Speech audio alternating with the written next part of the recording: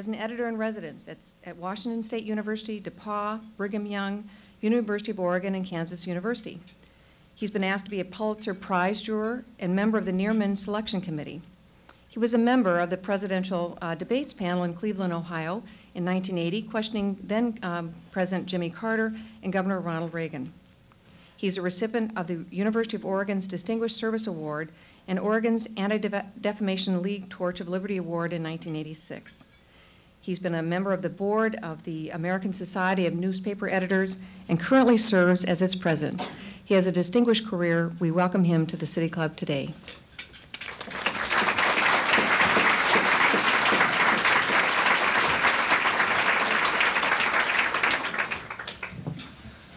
Thank you, Ms. McWilliams. I'm, I'm a little worried about those questions. Uh, you have questions ahead of time that two people have already made up and they're going to ask me?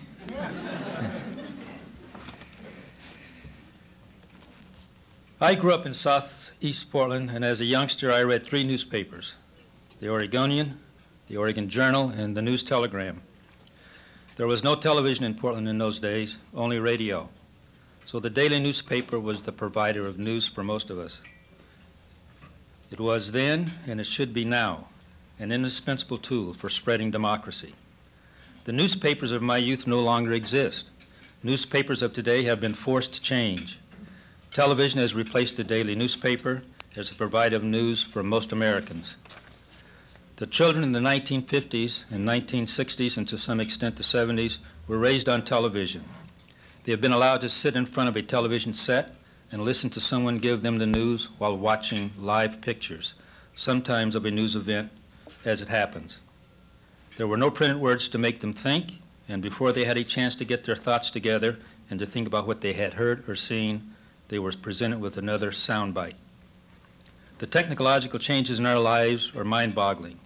Not only is there television, but there are the Walkmans, the computers, the VCRs, the disc players, and a host of other technical instruments to challenge and entertain our young people today.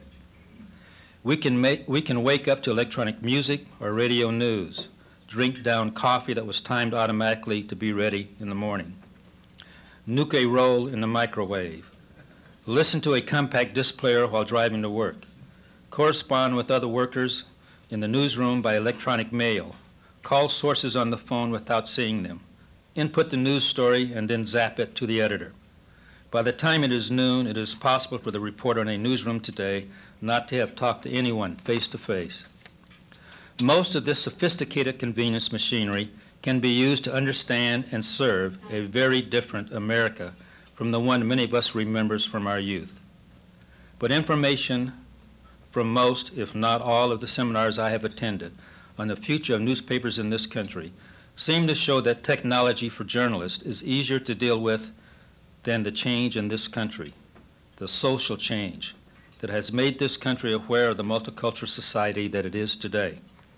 The sociological changes have been brought on by a wave of immigrants who speak many different languages, which many of them will not always abandon, and who are people of color. The sociological changes facing this country today will eventually decide the future of America. Our democracy still is in the experimental stage, and the daily newspaper is the ideal tool again to spread the word of democracy and to use as a teacher for those who are not active participants in our democratic society and who are not true believers in the democratic process. It is important to remember just how much this country has changed since I was a youngster in southeast Portland and what role the newspaper has played in this change. There was no reason for me to believe in the 1940s that I could become a reporter on the Oregonian or any other daily newspaper in this country, and certainly no reason to believe that I could become the editor. Newspapers then and today are under the direction of men who were then, and to a large extent today, the beneficiaries of a white male network. Anyone not a white male in our society, but who worked in the news and editorial departments of our daily newspapers, had to adapt to a white male environment. Until now, the American culture has been largely European-centered, rather than reflective of the nation's growing diversity. Most whites live in different neighborhoods from minorities, go to different schools, and have different social lives. Dorothy Gilliam, a columnist for the Washington Post, and president of the National Association of Black Journalists, notes that while most whites have insulated themselves, minorities always have had to be bicultural and inclusive to get along with the white majority. Newspaper managers, editors, and reporters have been so involved in the technical revolution that is changing the industry that they have not given enough attention to the social revolution that is taking place and bringing about tremendous change in our country. What if the newspapers had used their resources as far back as the 1930s to expose the real evils of racial segregation in this country? Would we have the racial and ethnic divisiveness that we see all around us today? Newspapers and citizens face not only vast but fast change, technological, intellectual, sociological, and in a world that needs understanding more than ever. Many of us in the newspaper business think it is our mission as an institution in this country to force change and bring about and, and better provide the intelligent information on which democracy depends. Let's take a look at what has happened to the newspaper readership within the last 20 years. Newspapers have been successful as a business despite the competitive challenges from other media, chiefly television. In the 1950s and 1960s, newspapers grew and prospered, and by the mid 1980s, most of them had achieved profit margins of 20% or more. And even in today's economic slump, profit margins for many newspapers remain in the teens. But while newspapers have been succeeding as a business, they have been less successful as a medium. Daily newspapers in the United States, the circulation of daily newspapers in the United States, rose slightly during the 1980s from 62.2 million in 1980 to 62.3 million in 1990. However, the United States grew by roughly 12 million households over the same 10-year period. And while Sunday circulation increases have been larger, the gains in this area have just kept pace with the household growth. Meanwhile, the average weekday adult readership has declined from 78% in 1970 to 62% in 1990. And back to the business side, newspapers' share of advertising dollars have dropped 4.4 percentage points since 1975, representing $5.7 billion in lost revenue. If the newspaper as we know it is to have a future, it must develop new strategies and have a clear sense of which readers and advertisers it wants to attract. And journalists must be active participants in this process because every choice the newspaper makes affects the, the news and editorial departments of that newspaper. In the past, we have taken for granted, and mistakenly, that the public at large still recognizes what Seymour Topping a past president of the American Society of Newspaper Editors calls the enduring institutional value of newspapers. And Topping points out that many of the younger generation, told nothing to the contrary, treat newspapers as media dinosaurs, shortly to be replaced by computer chips. Well, technology is pervasive in our society today, but I don't think it is as important to us in the newspaper industry as the structural changes in the lives of Americans. And I think these social shifts are more important to the newspaper than the change in technology. These changes include the household, which is smaller today than it was back in the 1970s and 80s. In 1970, 40% of Americans lived in households of two adults with a child or children. Today, a mere 26% live that way. The largest proportion lives in households of two adults, 30 percent. The couple is the most common household in the United States, and this has never happened before. The household most reporters think is large, the single parent with child or children, is only 8%. The assumption that the single parent household is larger stems from too much coverage for too little phenomenon. Today's new family configuration has restructured food, transportation, education, and the trend extends through all ethnic groups as society continues to make shifts with gradual declines in married couples and of households with children. The structural change also includes women who have moved out of the home and into the paid employment ranks. ranks. Today, the average Joe is a Jane who makes less than $20,000 in annual income. Americans no longer have that extra set of hands around the home called the homemaker. women in their 20s and 30s do not leave the paid labor force when or if they have children, and they outnumber men in college. Immigration and ethnic change is another major shift. One-fourth of the growth in this country in the last 10 years is in immigration. Children of different cultures, different values, different insights, different intuitions will change the mix of this country. What Jean Gaddy Wilson of New Direction for News calls a mosaic is coalescing in this country rather than a melting pot. When will minorities outnumber the majority in this country? It is coming sooner than later, and newspapers must be prepared to serve a readership that is truly diverse and multicultural. In New York City, where there are 119 languages spoken, minorities outnumbered the majority in 1992 in Los Angeles, where 56 languages are spoken in the classroom, the first grade classrooms have more non-European descendants than European descendants. In Houston, with 98 languages in its schools, the change is coming as well. A fourth ma major shift is the elderly. The so-called baby boomers will change aging in this country. They will become more prosperous than earlier generations because they are couples in dual earner households. The 45 to 59 year old group is up 40 percent, while 18 to 34 year olds are a shrinking group in this country. What will happen in a technological age when other countries have young people? It is in the minds of the young that change comes. These changes in our society demand that the role of the newspaper change if the newspaper is to survive as a news provider and as a business. It may have been appropriate for newspapers to just report the news and comment afar on their editorial pages 20 years ago, but the world has changed much since then. Many of us have lost confidence in our elected representatives, both on a local and national level. We are unhappy with our public school system. Our cities are a disaster. Our fear of crime goes unabated. The economy continues to be weak. Hate crimes, most of them aimed at people of color, are on the increase. Let me share with you some findings of New Direction for News, which is a clearinghouse for ideas and a resource for research, of which Jean Gaddy Wilson is the executive director. When a group of participants at a New Direction for News roundtable on democracy and demography tried to list ways traditional standards for a newspaper must change, this list evoked intense discussion, and the participants could not reach a consensus for or against these challenges to tr traditional journalistic codes and I want to list just 11 of them. One, sources should be shown or read stories about them. Wow. Two, sources should have the opportunity to offer corrections or submit, submit disagreements. Three, statements of disagreement will be published alongside the story. Four, journalists must be involved in organizations or the life of the community. Five, journalists must live in the subcommunities on which they report. Six, Journalists should, should disclose all involvements. Seven, fairness and accuracy shall be sacrificed to timeliness or exclusivity.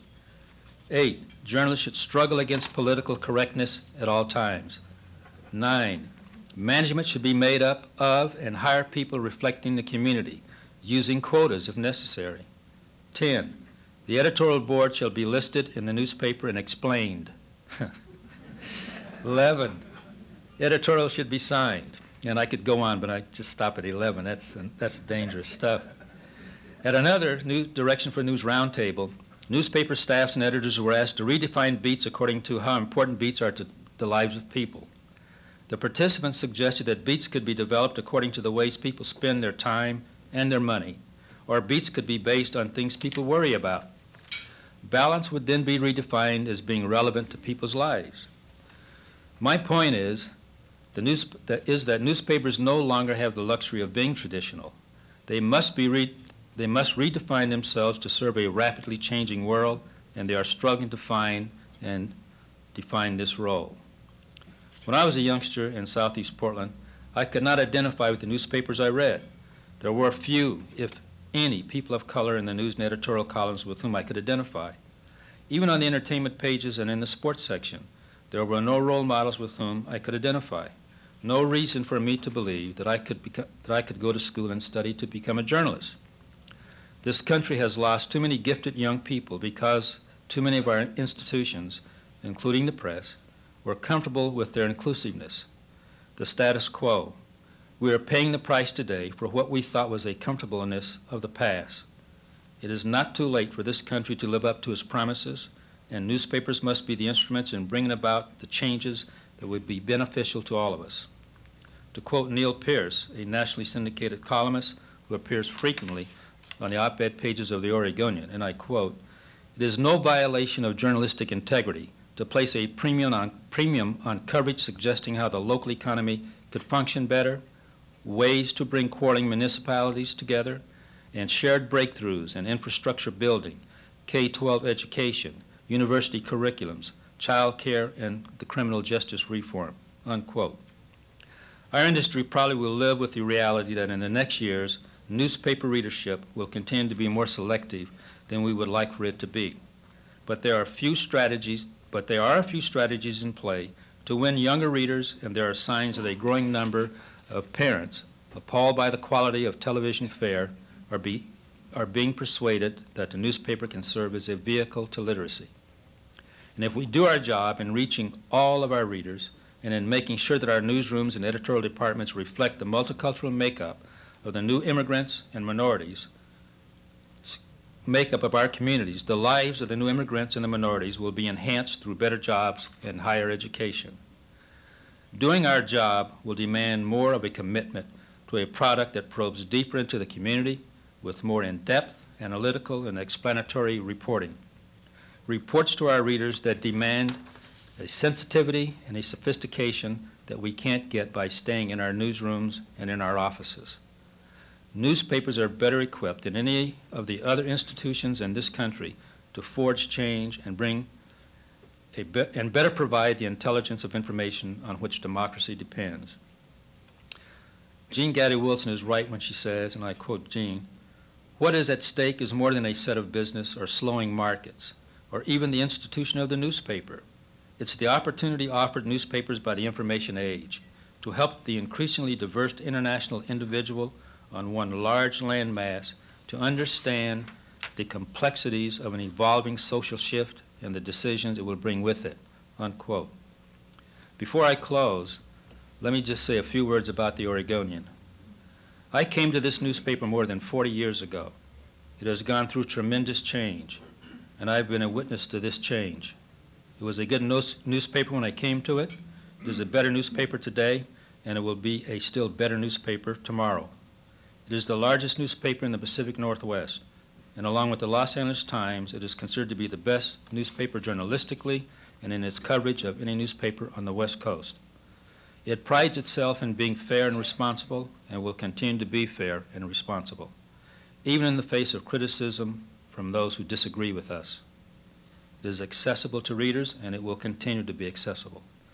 It has held community meetings throughout the metropolitan area to hear what its readers have to say it has invited people from all walks of life to talk to its editors and its reporters, people from the professional and business community, representatives of racial and ethnic groups in the community, and just plain readers in general.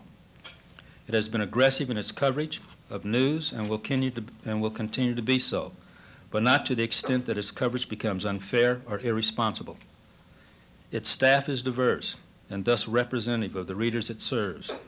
It can be better, and it will be better, but it is up to you, the reader, to make sure that it is. Thank you.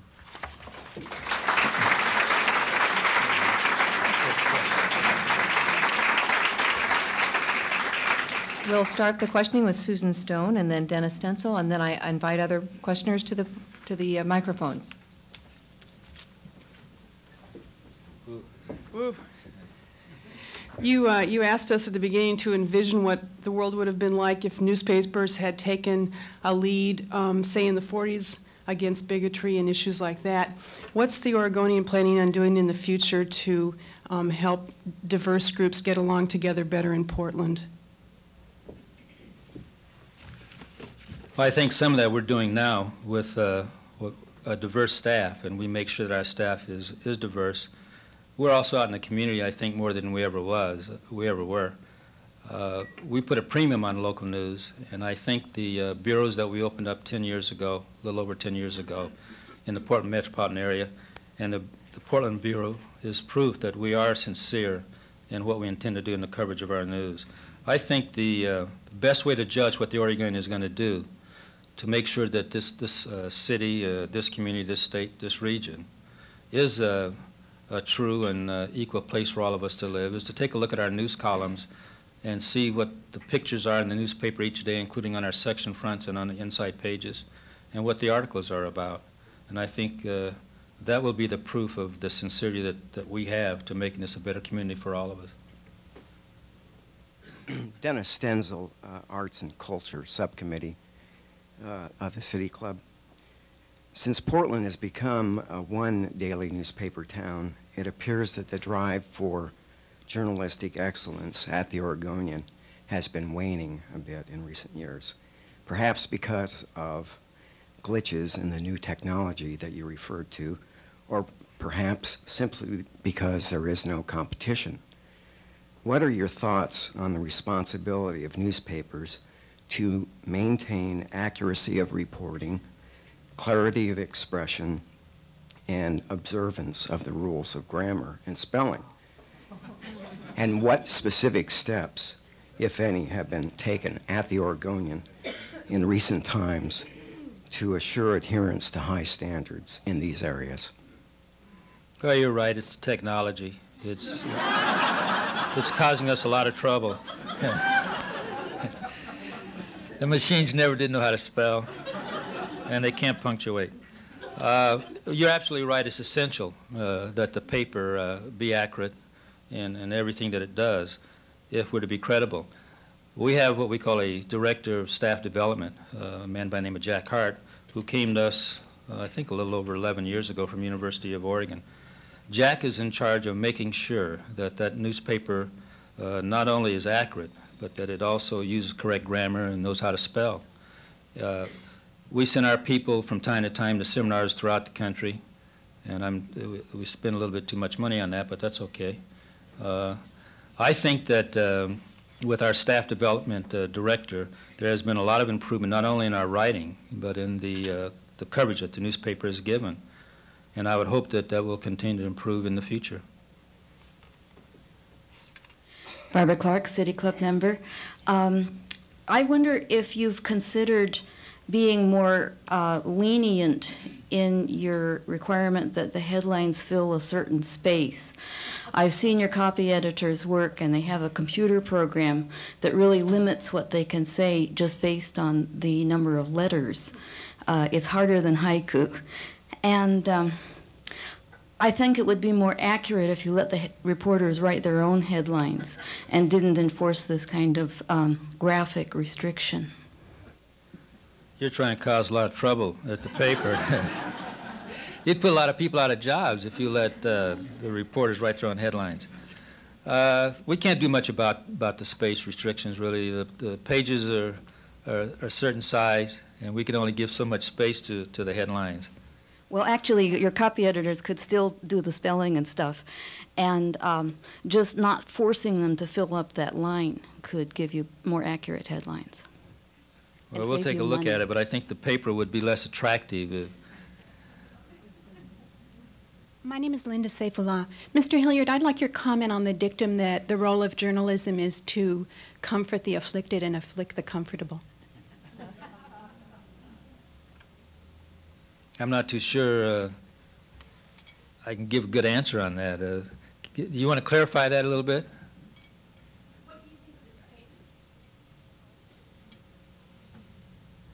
Oh, I, that's a part of our role. I, I think it's a role uh, that most of us play. I, I think most people in the paper, or on newspapers and in media today, tend to uh, look at the, the so-called underdog and, and want to bring that, that particular person or individual up to a certain level. And it's a role that I, I think uh, we play, and sometimes I think we play quite well.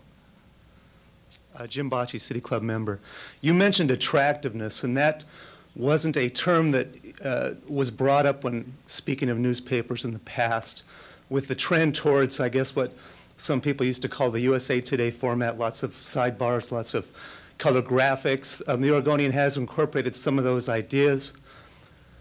Uh, some of the more traditional papers, the New York Times, for instance, has not bent to that trend. Do you feel that that, does, uh, do your numbers show that that has increased your readership? How do you feel about that personally as far as uh, looking at the traditional roles that newspapers play? I think the, the papers that you speak of, a number, you could probably count them on one hand, the Washington Post, the Wall Street Journal, the New York Times. And the New York Times is, is looking at color, and if you look at the book section now, uses color in his book section on, on Sundays, and more changes on the way at the uh, New York Times. We live in a competitive uh, world today, and television is a competitor for, for people's time. And television is very colorful. I think we live in a world of color, and our young people today have come up in color. I don't think there's any way we can go back to just, just plain uh, black and white. It doesn't mean that you sacrifice uh, the quality of your newspaper, but I think we, we, we have to compete with uh, other, uh, other um, media, and uh, television is one of our big, big competitors for people's time. I used to, uh, used to laugh at USA Today. I don't laugh at USA Today anymore. If, if that paper does one thing, and that is to get people to pick it up, regardless of what the little items are, how many it has, and, and the lack of depth, it makes people read. And I think whatever we can do to attract people to the newspaper, to get them to read, and hope that they turn the page of that newspaper to see the in-depth and the analytical pieces that are inside. I think we, we then are doing our job. And if we can get young people to look at the dining room table or the coffee table or in the doctor's office, uh, at section front of the Oregonian or any other good newspaper, and there's something on there that makes them pick it up and start looking at it, then I think we've, we've accomplished one of our goals. Mr. Hilliard, I'm Sylvia Dobbs, a City Club member. It seems to me that there should be a little stronger demarcation between news reporting and editorializing. Uh, My feeling is that news reporting would be sitting at the top of the fence and not taking a view on one side or another. And it seems like in the Oregonian, the headlines are very often slanted in one direction. And it, if they're going to take that approach, I believe there should be a, the, the uh, writer's name on the article. I very often see front page, uh, I- I don't know if they're news or editorials, but to me, they look more editorial from the headline particularly. Would you give me some comments on that, please?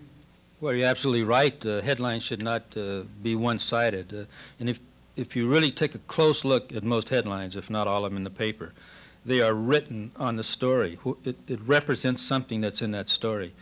And if those stories are one-sided, or biased, as you put it, there would be a little bug there that says that this is an anal- analytical piece or a news analysis, and that warns you that this might be biased. Uh, the news stories, I would challenge you that uh, their, their objective is objective can be as far as fairness is concerned. They simply report what other people are doing or what other people have said. I, I, I just don't see that. I would, if I knew I was going to speak today, I would have brought some examples, but, uh, Feel free to, to send me examples if you, if you have them, and we'll take a good look at them and do something about them. okay, thank you. Jeff Carr, City Club member. This is softball. With this improving technology that you discussed, as well as being far-reaching and aggressive in your reporting, why was the Packwood story broken on the East Coast? Why, why does everyone react that way? Huh. Uh, I don't, I don't have any excuses for what the Oregonian did on the Packwood story, and I can give you my reasons why I think it was uh, broken on the East Coast. Although uh, I think most of you first read it in the Oregonian because we ran it the same day that the Washington Post ran its story in uh, Washington, D.C. Uh, we tried uh, for some time, over a year or two, to chase down the rumors that we heard about Senator Bob Packwood. We could get no one, find no one, including some of the people who talked to the Washington Post, some of the women who talked to the Washington Post, who would go on the record for us saying that they would, would support the information that we were hearing. And these are some of the same women who talked to the Washington Post. The only reason I can give for that is I think there are a lot of people who see the Washington Post or the New York Times as the or one of the national newspapers in this country.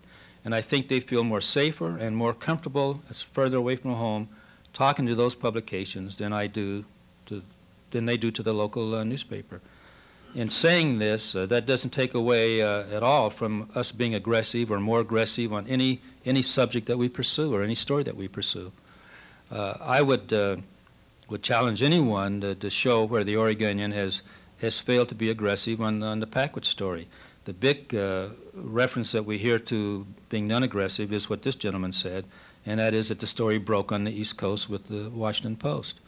We could not find anyone, and I repeat, to give us information on the record that would let us publish a story that could uh, possibly ruin someone's career uh, without being able to back it up in court. Leslie Hildula, City Club member. As a business consultant, I look to the paper for insightful and uh, perhaps investigative approach to business issues in our community. And yet there seems to be inherent conflict because the revenues of the newspaper, from my understanding, come from advertising mostly. And how can we get then investigative journalism into like labor issues in department stores perhaps, or fairness and selling issues in automobile distributorships when their revenue is so important to the paper? Trust us. If you think that, uh, that we're influenced by advertising, I'd, I'd like for you to talk to Fred Meyer, to Meier & Frank, and to Nike, just to name three. Uh, They don't share your view. And I, I can assure you that uh, the advertising department of the Oregonian does not in- influence or try to influence the news operation of the newspaper. And there is a complete separation there. Although we meet with advertising people at the paper all the time, as well as we meet with production and business people at the paper. George Dysart, City Club member. I'd like to comment on, or raise a question about what I've referred to as the balkanization of the Oregonian in their desire to get areas from the southeast or the southwest or whatnot. Many of us live outside the city of Portland, and yet we come in here to work, and we are in, involved with Portland activities.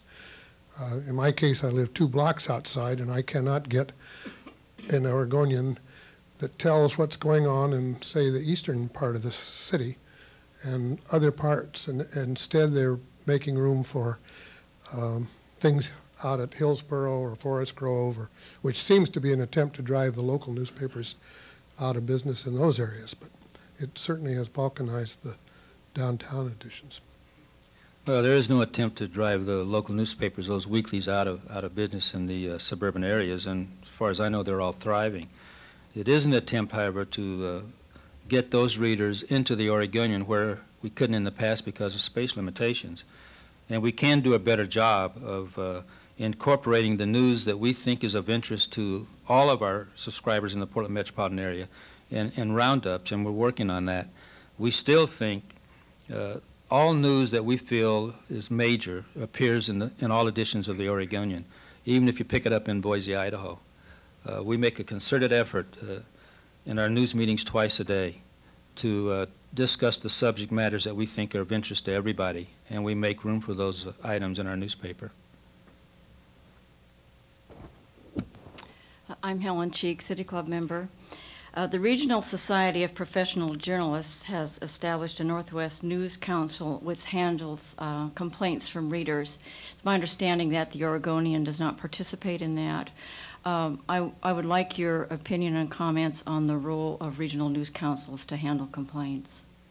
I think you're referring to a news council that was started up at the University of Washington, by a man up at the University of Washington, uh, and is sponsored, I think, by the, the Society of Professional Journalists, Sigma Delta Chi. Uh, I, I'm not against a, a regional, uh, or any kind of news council, and this council, I think, is called the Northwest News Council. And I'm not too sure whether we'd want to be a part of it. It- It'd be up to uh, the editors at the paper if they think it's something we should, should participate in. I'd like to point out, however, that we hold um, meetings with people who complain about our newspaper all the time. We also send out what we call accuracy checks to people, and perhaps some of you in this room have received them, in which we solicit your comments along, we send a copy of the article that was run that quoted, that we ran that quoted you, or your, or a story in your company or business or whatever. Then we ask you to comment on the pictures, the quotes, how you were treated by the reporters, and what have you. We think that we have uh, adequate safeguards for the readers of our paper to, to prove that we're going to be responsible and fair. If we join a news council, that's a decision that will probably be made in the future. That particular news council uh, was pretty much just uh, foisted upon us, and one day I remember getting a summons, and they gave me three court dates uh, in which I could appear because of a complaint from uh, a political figure who had dealt with us before, and we thought we had given him the information that he wanted. That's about the only answer I, I can give you on uh, the News Council. Don Barney, member of the club.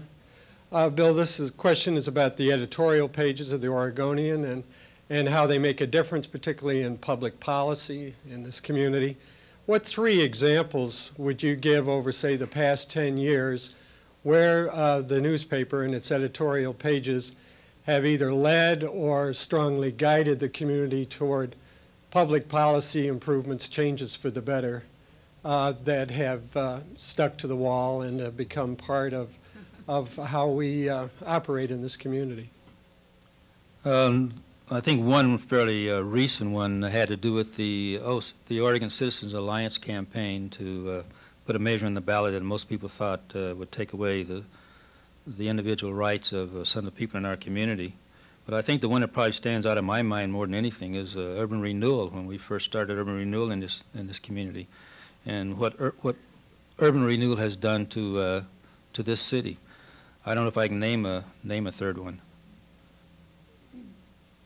My name is Peter Heuser. I'm a club member. It seems like about six months ago you hired a columnist. I think her name is J.E. Vader in the sports department. I wanted to ask you, I know that when she first started with the Oregonian, the paper took a lot of flack, at least in the letters to the newspaper, uh, complaints about the types of things she was writing about and her, and her perspective. I'm wondering, did you go out and recruit her in order to increase the diversity of the writers at the Oregonian? Uh, if so, would you do that again, or if not, is that something you might do? Well, diversity had, had a lot to do with it. We felt that uh, we were lacking uh, women in our sports department and women were becoming more active in sports. And if you read the sports section of the Oregonian, we give almost as much space to women athletics in this state as we do to, uh, to the athletic uh, abilities of the males. Uh, yes, we deliberately wanted to find a uh, a woman who is a good sports writer and a good columnist, and Judy was our choice. I'm Robert Smith, City Club member, and I'd like to pass a commendation on to you. I grew up in Indiana reading Dan Quayle's grandfather's newspaper, morning paper, evening paper, and television. Uh, when my father moved out here in his late 80s and 90s, he was reading the Oregonian one morning and said, Robert, it's a different world out here. we don't get news like this in Indiana ever. Thank you. Thank you. Thank you.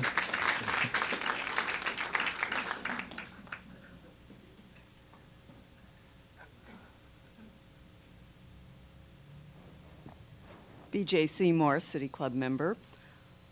What do you feel is the influence of the tabloids that we see in the grocery stores on newspapers today?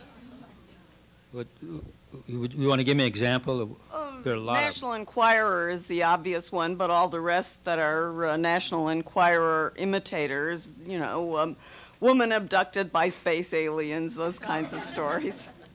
What influence, if any, do they have on, on uh, the daily newspapers? I don't think they have any, absolutely none. I'm a little, uh, l- little hurt sometimes when I go to the supermarket and, and, and watch the people picking those up, reading them while they're waiting to be checked out. I'm Ray Polani, a City Club member. Uh, uh, Mr. Hilliard, I believe you said earlier that democracy is in an experimental stage. I happen to believe with, to agree with you, and, and I think that the bottom line is probably how we will reconcile independence and responsibility in information uh, with uh, what I would call the bottom line, advertising, uh, the profit motive, what have you. Uh, how about the newspapers in, in this context?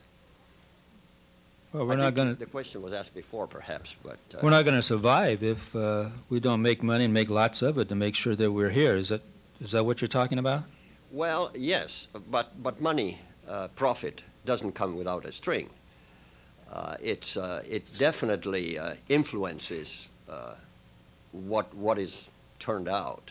I'm thinking of, and, and people will laugh perhaps, the automobile industry and the amount of money that is spent. Somebody said uh, in excess of $100 billion, uh, and, and all you need on is turn on TV and, and look at any, uh, any magazine, any paper, And, and it, it's clear that the automobile is, is a very, very pervasive force. And, and yet, I think many of us are being more and more convinced that it, it's a mixed blessing. uh, Are you saying say that the least. newspaper's a mixed blessing? No, the automobile is a mixed blessing. But uh, uh, obviously, information and, and independence and reliability and, uh, and uh, unbiased information is, is very, very crucial. Well, I Well, how, how about the newspaper in, in that context? I hope that the Oregonian continues to make money. Uh, The Oregonian is owned by a family. Two, two brothers own the newspaper. And I've been at that paper more than 40 years. And every year I've been there, uh, I've seen our staff increase. I've seen our salaries increase. Uh, not a year has gone by that an employee at the Oregonian, full-time employee, has not been a beneficiary of a raise. Uh, and, and yet I think the paper has improved tremendously. So I think the, the, the profit of that newspaper has benefited this community. This community is a better community because I think the Oregonian is a better newspaper today. Dale Annis, City Club member. Ray, glad to see you get something about transportation in there. Uh, I'd like to let you know that I'm one reader that would like less for more. Uh, I would pay $2 for the Sunday edition if I could get rid of all the trash that's in it. And I'd probably pay more, 50 cents for the daily edition if I could get rid of uh, all of the, most of the supplements that go in there. What's, what's the paper's reaction to something like that? There are not enough people like you. And, and we're going to continue to run uh, those advertisements and carry those supplements.